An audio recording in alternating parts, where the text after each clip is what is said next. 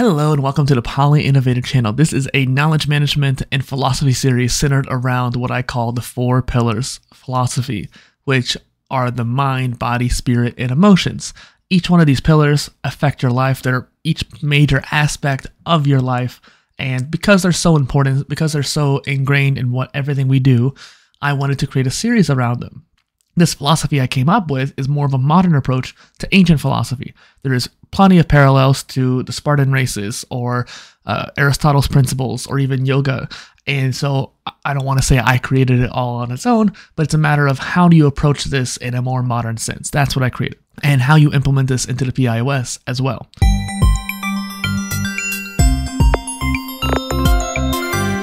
This series isn't so much about the knowledge management aspect behind it, it's more about each pillar individually and how to understand them, how to build it up. Because when you build up one pillar, it builds up the rest. When one pillar goes down, the rest go down. It may not be as dramatic as what I just described there, but for the most part, it is one of those things where it can be quite detrimental when one of your pillars is starting to fade out and start to not be worked on as much. But when you do focus on a pillar and try to improve it, such as like your body pillar, it does impact your mind and your emotions. Whether or not it affects your spirituality is dependent on you. But let's get into some of these pillars here. The mind pillar is obviously your brain, your logic, your knowing, your learning, that kind of thing. Your body pillar is your health, your nutrition, and probably most uh, evident is your exercise. And then you have your spirituality pillar, which I think really doesn't necessarily have to be religion, but a lot of people's religions help their spirituality. So I think that's, you know, if it works for them, it works for them. It doesn't work for everybody. And so the way I like to see the spirituality pillar is it's the bridge between the conscious mind and the subconscious mind.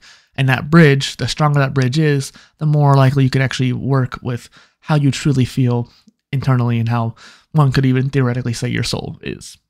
And so, depending on where you come from, you can apply that mindset in a lot of different ways. Then you have the emotions pillar, which generally kind of refers to your EQ, emotional quotient, and how do you how well do you understand your own emotions as well as the emotions of others. Now, while each one of these videos may not be that long in its own, this is at least a dozen different videos I have planned out here based around each pillar and what you can do to improve it. The first half is a lot more simple and more beginner friendly. The second half is a little bit more 201, if you will. Like you have 101 in the beginning, 201 in the second half, because some people have already spent a lot of time on self development. I made this series for everyone, which means even if you're just starting out or if you've done it for a while, you'll get something out of these videos, at least to a small degree. And then once you get towards the 201 level kind of exercises, then I think you're going to get a lot more out of it when it comes to progression. Personally, I've seen that most people have an anchor pillar.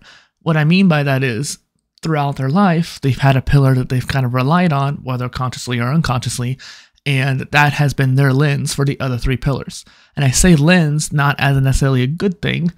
It is good to make sure you acknowledge those other pillars, and if a lens is the only way you can do that, then that's fine. But eventually, you need to start developing each pillar individually. They all work holistically, but they also need to be individual as well. For example, my anchor pillar is the body pillar, the physicality of things. I worked at a gym for uh, over a decade. I still teach swim lessons. Physicality is part of my life. That's where I come from first and foremost, my body. And making sure I have enough supplements, make sure I have enough, you know, exercise in my regimen and making sure I'm like doing enough cardio and keeping my body going and walking every day, that kind of thing. This is where I you know, start my journey on mental health. I go for a walk. I go maybe even late at night just so I can clear my head. It's where I process my emotions when I go for a walk or go push out some exercise, push out some reps. My point is that is where my lens comes from, is from the body pillar. But I've tried to actively change how I approach each other pillar too. Spirituality for me can be meditation, has nothing to do with physicality. And same with the body and the mind pillar too. Meditation can help with that. Let's move on here. What do you expect from this series? Well, this introductory video is about all the pillars. The next four videos about individual pillars. After that, we'll kind of come back together and talk about it holistically. And then once again, we're going to split off into each pillar into a more advanced way. So for example, I probably will talk about nootropics, which are mental supplements, when it comes to the mind pillar later on. And then again, this system is really just a modernized version of what a lot of other systems have been created throughout humanity's existence. I just wanted to make a way for me to explain it to people because this is a very important part of the PIOS. When you organize your knowledge management, that's great. You can focus on your projects, your tasks, your goals, and whatever. But if they don't align with who you want to be and who you actually are now, then your projects and goals are just wasted.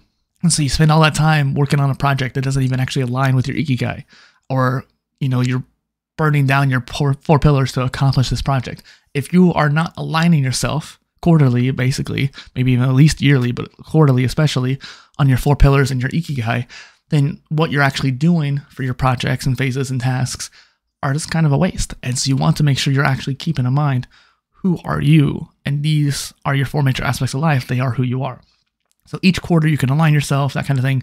If you have any questions, comments, or concerns, or you have curiosity that you want to be, you know, answered, leave a comment down below. I definitely am approaching this series in a lot more freeform aspect. I'll end the video here, but a little history. This series started out super early on the Poly Innovator timeline. So I came up with this idea of an omni content series where I made a blog post, video, and podcast all in one. Eventually, it called Poly and Content if you want to like look back on the history books, but either one, essentially, it was the same thing you made every episode all three pillar types. And I said pillar types here, but pillar types meaning written audio and video.